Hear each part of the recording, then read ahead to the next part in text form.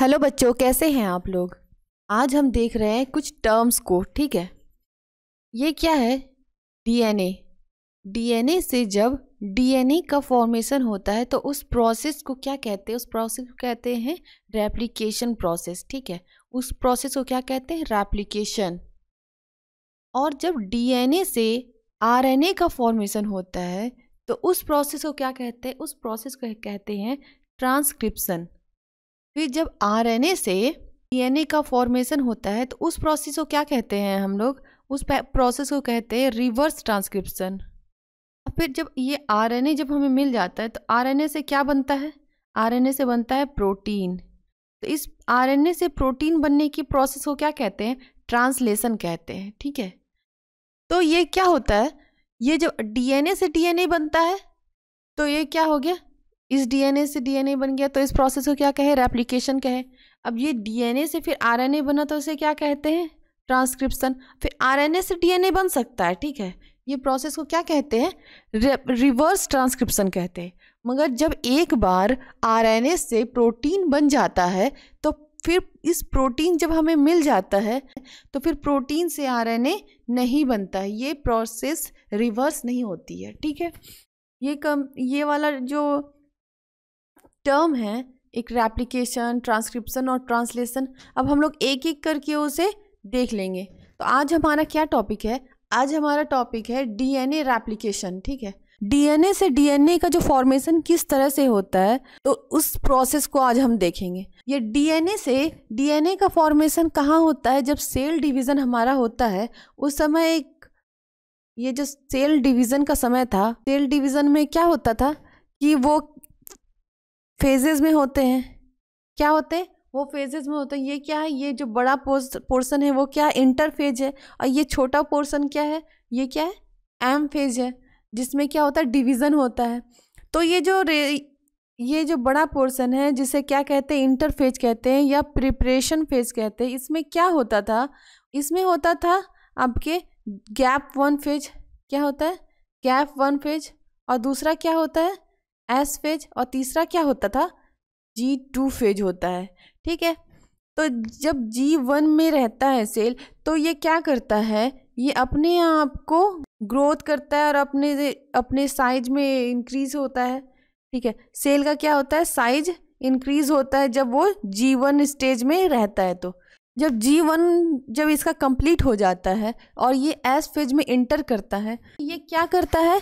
ये करता था, ये डीएनए का डुप्लीकेशन करता था कि क्या करता था? डीएनए का डुप्लीकेशन करता था। क्यों करता था? क्योंकि ये पेरेंट सेल से कैरेक्टर को डाउटर सेल में ले जा सके। इसमें क्रोमोजोम नंबर नहीं बदलते हैं।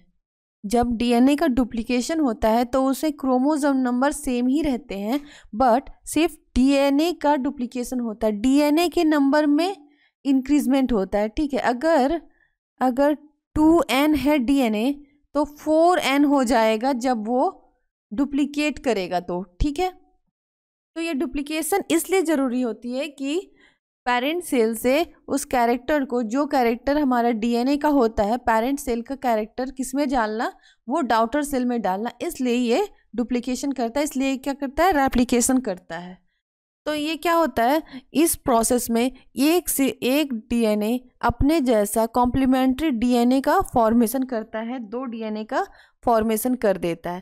डीएनए रेप्लिकेशन का जो में जो प्रोसेस लगता है, वो कौन टाइप का लगता है? सेमी कंजर्वेटिव टाइप का लगता है, ठीक है? Meselson and Stahl 1958 are proposed semiconservative method ठीक है? तो मेसलसल और एस्टेल जो थे तो इन्होंने ही सेमी कंजर्वेटिव टाइप के मेथड को दिया था कि डीएनए किस तरह से डिवाइड कर रहा है तो ये एक सेमी कंजर्वेटिव टाइप से डिवाइड कर तो ये सेमी कंजर्वेटिव टाइप क्या होता है? कंजर्वेटिव मतलब होता है आपके संरक्षण। संरक्षित किसे किया जाता है? तो वो पेरेंटल टाइप का जो उसमें गुण होता है, उसको ही डाउटर सेल में उसको संरक्षित करना ही क्या कहलाता है? सेमी कंजर्वेटिव तो सेमी का मतलब क्या हो गया? हाफ़ और हाफ़ सेमी मतलब फुल नहीं हुआ। अगर कंजर्वेटिव पूरा फुल कंजर्वेटिव होता तो क्या होता? कंजर्व हो जाता। मगर जब इसमें लिखा हुआ है एक सेमी कंजर्वेटिव है तो इसका मतलब हम समझ पा रहे हैं कि ये क्या होता है? ये एक डीएनए का स्टैंड है तो ये क्या होता है, ये एक पेरेंटल वाला एक चला जाता है, एक स्टैंड और दूसरा क्या होता है, ये न्यूली फॉर्म्ड स्टैंड का फॉर्मेशन होता है, ठीक है? एक न्यू है और एक क्या है ओल्ड है। इसमें भी क्या है, जब दूसरा जो स्टैंड बन रहा है तो उसमें क्या है, एक ओल्ड है और दूसरा क्या है, ये न्यू है, ठीक है? न्यू स्टैंड का फॉर्मेशन हो रहा है। अब इसे समझते हैं कि क्या होता है सेमी कंजर्वेटिव सेमी कंजर्वेटिव मतलब क्या होता है? अगर ये एक स्टैंड है डीएनए का तो उस स्टैंड से दो स्टैंड का फॉर्मेशन होना। ये क्या वन हो गया, ये क्या हो गया? टू हो गया। ठीक है? वन और ये टू है। तो दो स्टैंड का फॉर्मेशन होना क्या कहलाता है? ये कहलाता है डुप्लीकेशन इसे क्या कहते हैं? रेप्लीकेशन मगर ये किस टाइप का रेप्लीकेशन हो रहा है? सेमी कंजर्वेटिव तो इसमें क्या होता है? सेमी मीन्स हाफ़ हाफ़ हो गया। पेरेंटल एक पेरेंट का आधा हिस्सा एक न्यू डाउटर सेल में और दूसरा हिस्सा, दूसरे डाउटर डीएनए में चला जाना ही क्या कहलाता है? सेमी कंजर्वेटिव कहलाता है। तो इसमें क्या होता है? एक तो पेरेंटल वाला है, ये कौन सा है? ये पेरेंटल टाइप का हो गया। और ये क्या हो गया? ये न्यू फॉर्म कर रहा है। ये क्या है? ये जो ब्लू वाला है, वो क्या है? न्यू है। और ये पिंक वाला, वो क्या है? ओल्ड है। इसमें भी क्या हो रहा है? पिंक वाला ओल्ड है। और ये स्टैंड क्या है? न्यू स्टैंड है। तो दो अलग अलग स्टैंड जिसमें एक ओल्ड है, एक न्यू है और ये वाला भी डीएनए में एक ओल्ड है और एक न्यू है। इस टाइप के मेथड से जो डिवीज़न हुआ और हो रहा है डीएनए का, उसे क्या कहते हैं? सेमी कंजर्वेटिव कहते हैं। इसे क्या कहते हैं? सेमी कंजर्वेटिव मैथड कहते हैं। यहाँ पर क्या है?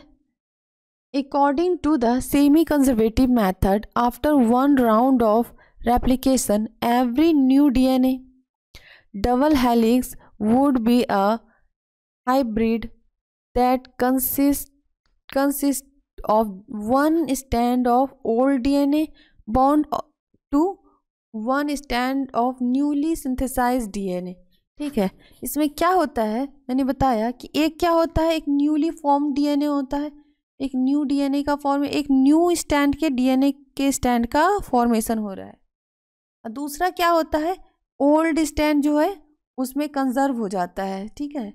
ओल्ड स्टैंड एक में, दोनों में कंजर्व होता है और दो न्यू स्टैंड का फॉर्मेशन होता है।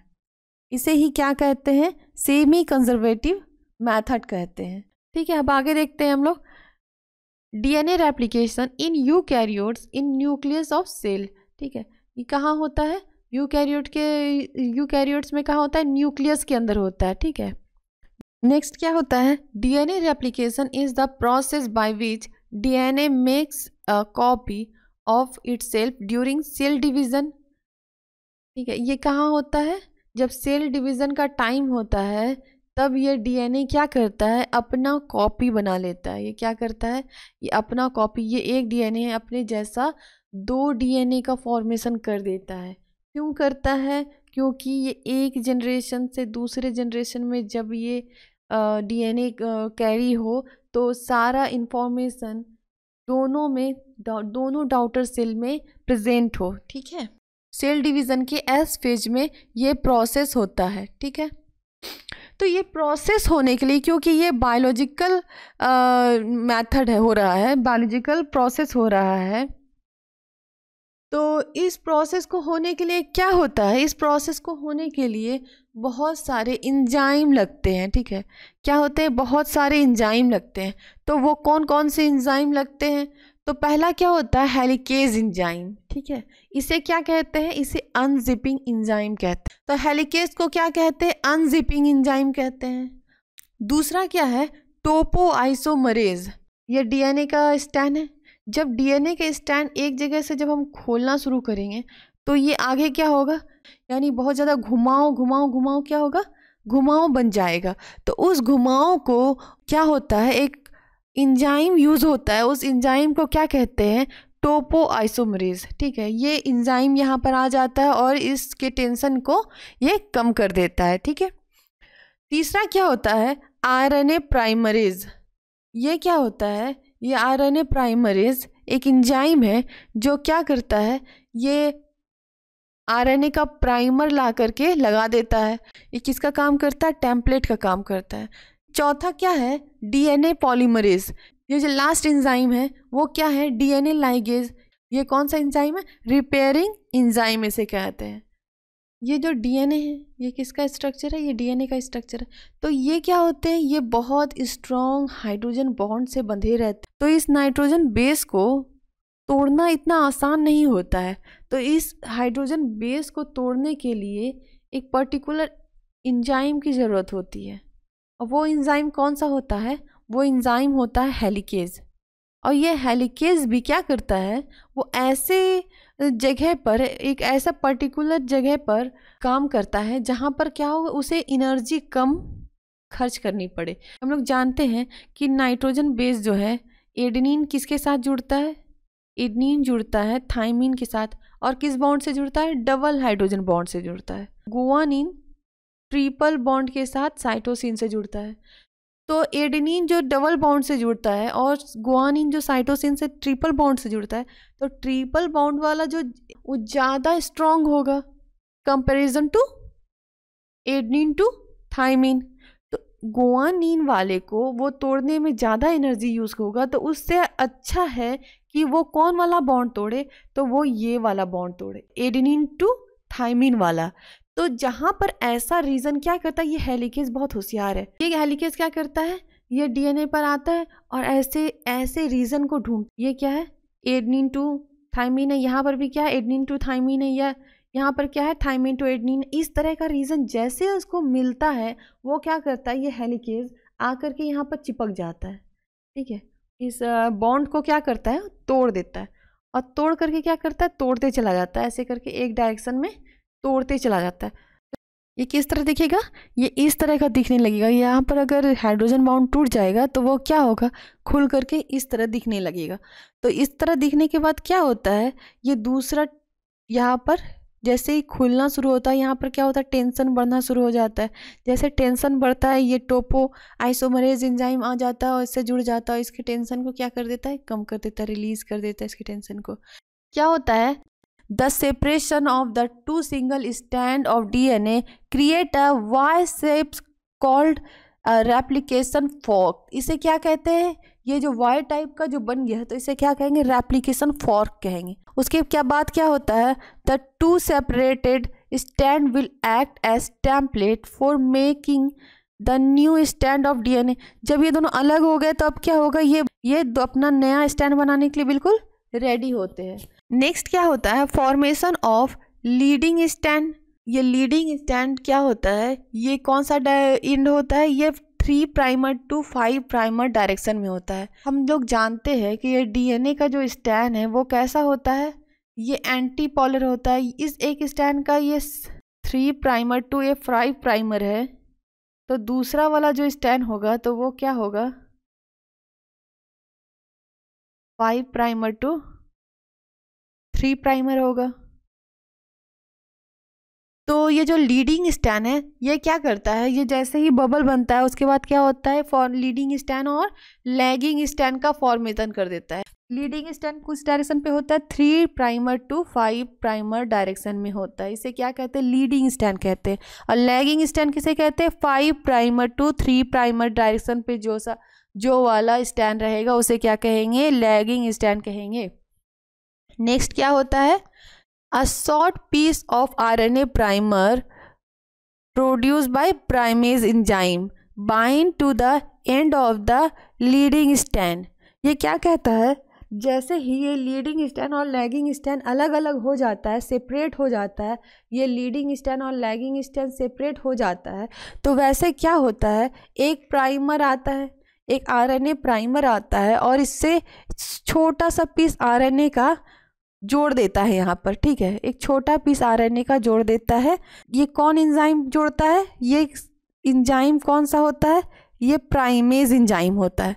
ये प्राइमेज इंजाइम आता है और यहाँ पर एक छोटा सा आरएनए का प्राइमर जोड़ देता है, ठीक है? ये क्यों जोड़ता है?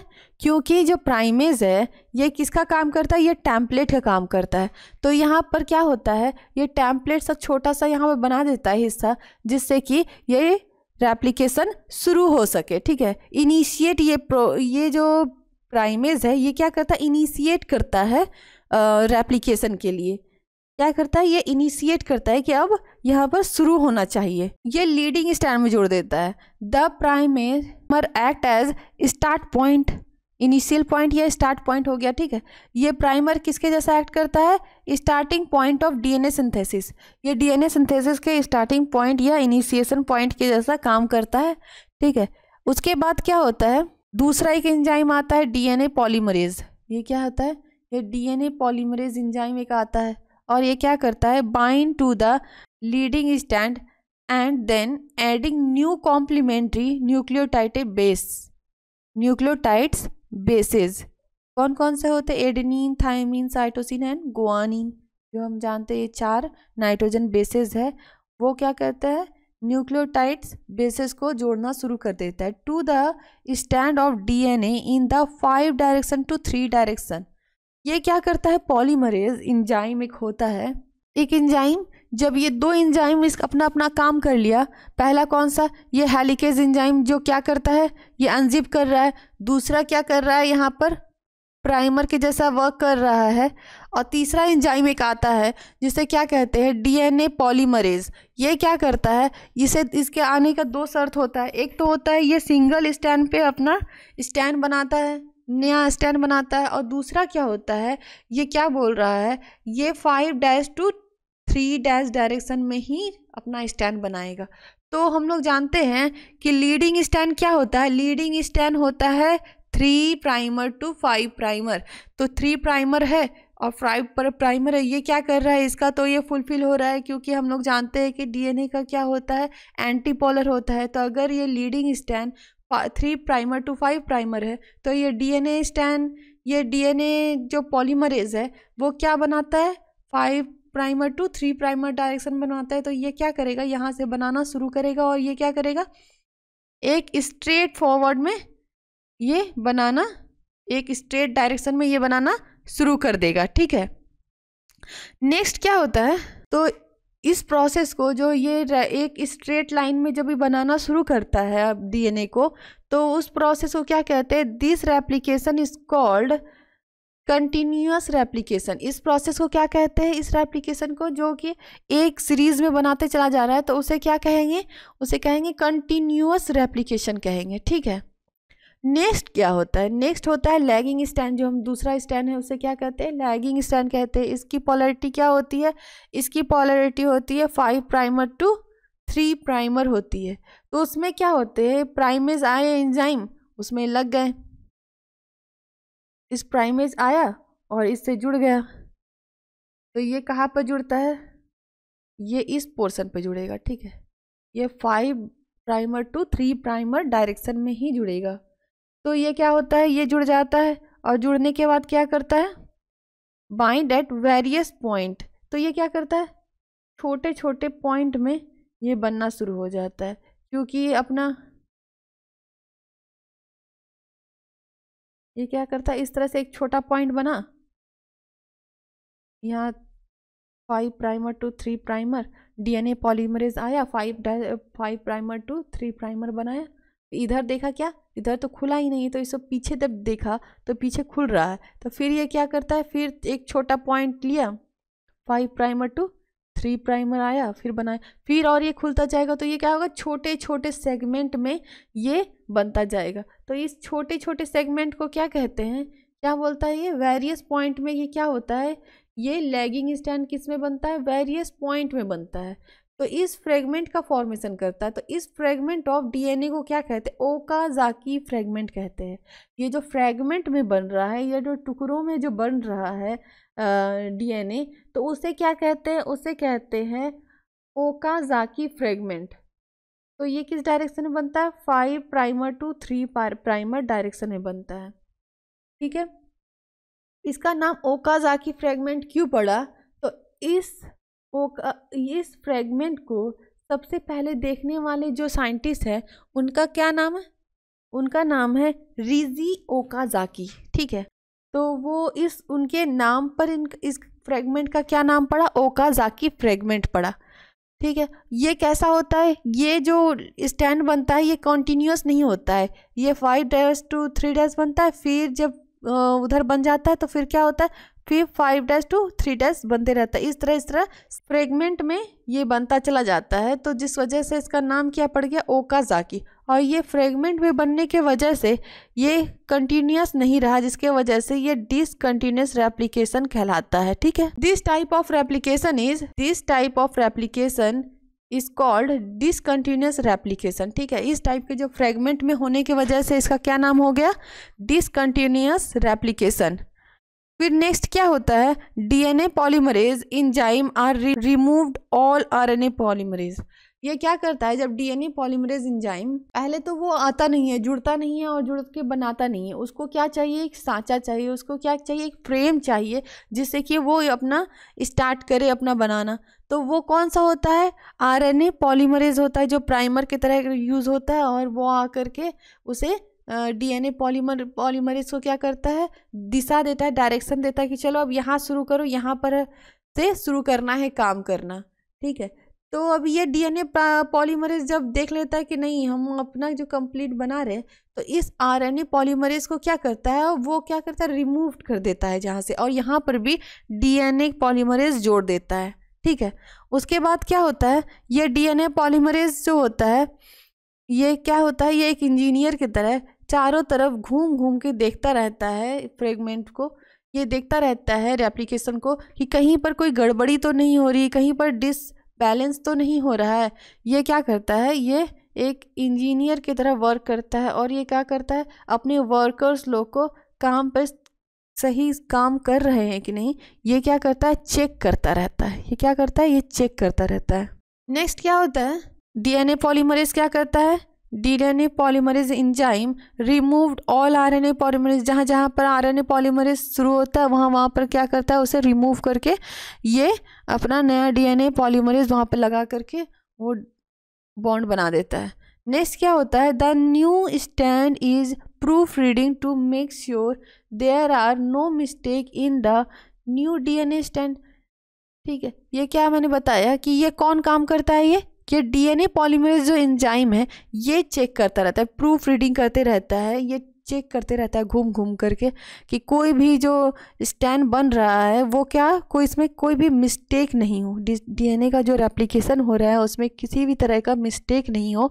इसके लिए क्या करता है, ये चेक करता रहता है सुपरवाइज़र करता रहता है इसको स्टैंड को। नेक्स्ट क्या है? At last an enzyme DNA ligase एक डीएनए लाइगेज के बारे में बताया था, वो क्या करता है? वो रिपेयरिंग का काम करता है। क्या करता है? डीएनए लाइगेज इंजाइम जो है, ये किसका काम करता है? रिपेयरिंग का एग्ज़ाम रिपेयरिंग का काम करता है।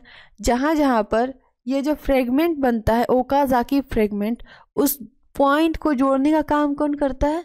ये डीएनए लाइगेज करता है। कौन करता है? ये डीएनए लाइगेज करता है। At the last, an enzyme DNA ligase seals up the sequence of DNA ठीक है? ये क्या करता है? डीएनए के सीक्वेंस को जहाँ जहाँ पर टूटा रहता है फ्रेगमेंट में हील कर देता है। उससे क्या करता है? सील कर देता है कि नहीं। एक तरह से ये क्या करता है? बाइंडेज का काम करता है या ग्लू का काम करता है ये सबको चिपका देता है कि नहीं सबको ठीक कर देना है। ये क्या है? देखिए ये क्या है? ये डीएनए का स्टैंड है। एक कौन सा डायरेक्शन में होता है? ये five primer to three primer direction होता है। दूसरा क्या होता है? Three primer to five primer direction में होता है। जैसे ही ऑरिजिन ऑफ़ रेप्लिकेशन मिलता है, जैसे ही हेलिकेज इंजाइम को, ठीक है? कौन से इंजाइम को? जैसे ही हेलिकेज इंजाइम को वो रिकॉग्निशन पॉइंट मिलता है, वो रिकॉग्निशन पॉइंट कौन सा होता है? एडिनिन एंड थाइमिन वाला, जिसमें हाइड्रोजन बॉन्ड क्या होते हैं?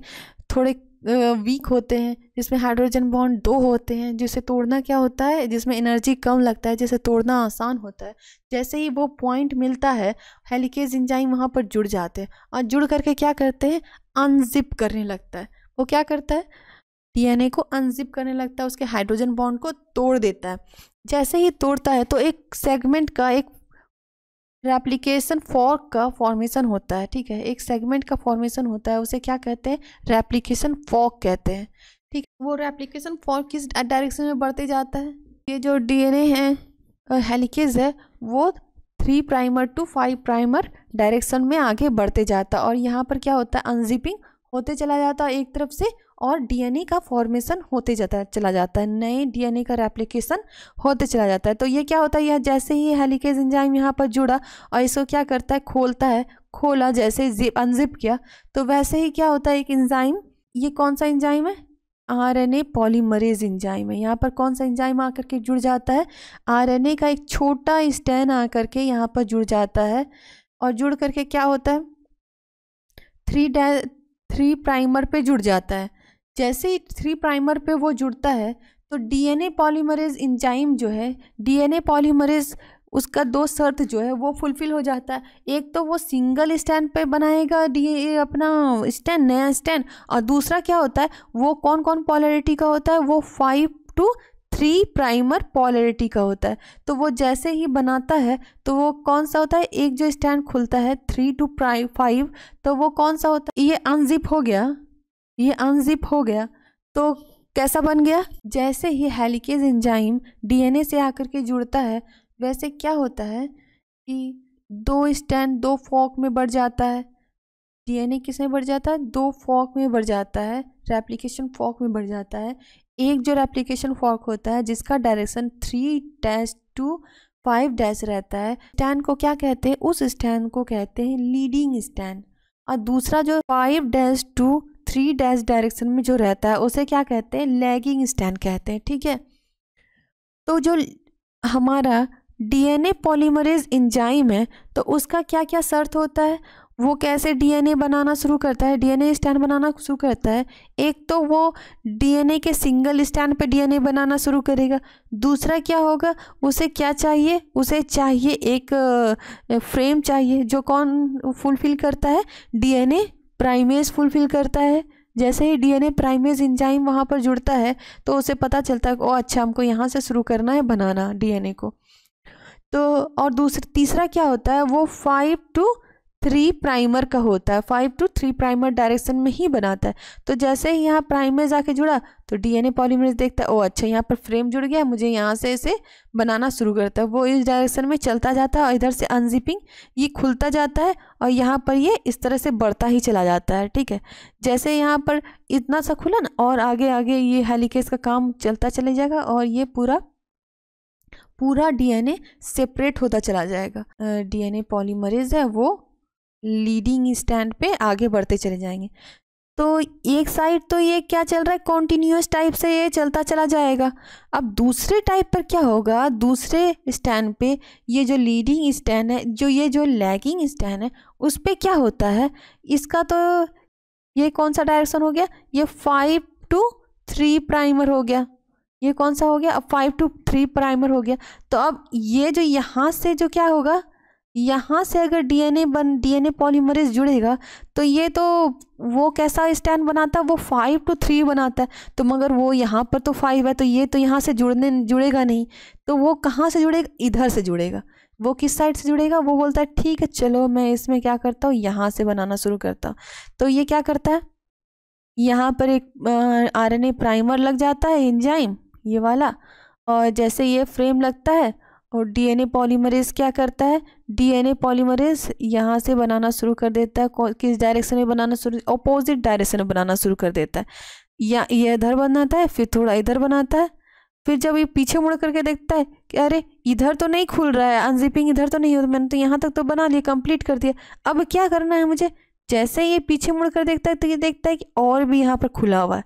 तो अब क्या करता है? ये यहाँ पर भी थोड़ा सा जा करके बना देता है इस तरह से। फिर क्या करता है? यहाँ बना देता है। फिर इस तरह से ये अपना क्रिटेरिया अपना पूरा करते चला जाता है, क्योंकि इसे कैसा बनाना होता है? इसे फाइव टू थ्री डायरेक्शन में ये कैसा बनाता है? ये फाइव टू थ्री पोलर बनाता है। तो ये इस तरह से बनाता चला जाता है। तो अब ये जो इस फ्रेगमेंट फ्रेगमेंट जो टाइप का बन रहा है, ये जो छोटा छोटा टुकड़ों में बन रहा है तो उस फ्रेगमेंट को क्या कहते हैं? उस फ्रेगमेंट को कहते हैं ओकाजाकी फ्रेगमेंट कहते हैं। ठीक है? इस ओकाजाकी फ्रेगमेंट तो बन गया ये। तो अब इसको क्या करता है? ये डीएनए पॉलीमरेज ये चेक करता रहता है कि मैंने जो स्टैंड बनाया है वो बिल्कुल ठीक है कि उसमें कोई मिस्टेक है। वो क्या करता है? वो सुपरवाइज़र करता रहता है इस पूरे रेप्लिकेशन में। तो अब देखता है क्या वो एक तो बिल्कुल कंटिन्यूस चलता जा रहा है ये वाला, लीडिंग स्टैंड वाला। तो दूसरा क्या? लैगिंग स्टैंड वाला क्या हो रहा है? टुकड़ा टुकड़ा में बट रहा है। अब वो क्या करता है? एक इंजाइम को क्या करता है? चलो जाओ वहाँ पर एक इंजाइम होता है। कौन सा? डीएनए लाइगेज ठीक है। एक इंजाइम क्या होता है? डीएनए लाइगेज वो डीएनए पॉलीमरेज क्या करता है? चलो जाओ जा कर के उसको चिपकाओ। यहाँ पर टूटा टूटा फ्रेगमेंट में बन रहा है। तो वो क्या होता है? वो डीएनए लाइगेज आता है और इसको यहाँ पर जोड़ता चला जाता है। क्या करता है? ये जोड़ता चला जाता है। तो इस तरह ये फ्रेगमेंट पूरा का पूरा जुड़ जाता है और जुड़ करके एक स्टैंड का फॉर्मेशन कर देता है। इस तरह यहाँ पर देखिए, एक स्टैंड, ये वाला क्या हो गया? ये ओल्ड वाला हो गया ये क्या हो गया? न्यू हो गया। तो इस तरह ये जो बनना शुरू होगा, ये जो यहाँ पर प्रोसेसिंग हो रहा है, ये इस तरह से दिखने लगेगा, फिर हाइड्रोजन बॉन्ड जैसे ही जुड़ेगा तो वो क्या हेलिक्स के जैसा मुड़ जाएगा और मुड़ के खुलता चला, जैसे इधर जिप अनजिपिंग हो रहा है इधर से रेप्लिकेशन होता चला जा रहा है डीएनए बनता चला जा रहा है। और इस तरह से पूरा का पूरा डीएनए जो हमारे न्यूक्लियस के अंदर प्रेजेंट होता है, वो दो भाग में बढ़ जाता है, दो डीएनए में बढ़ जाता है। ठीक है? इस प्रोसेस को ही क्या कहते हैं? डीएनए रेप्लिकेशन में कहते हैं।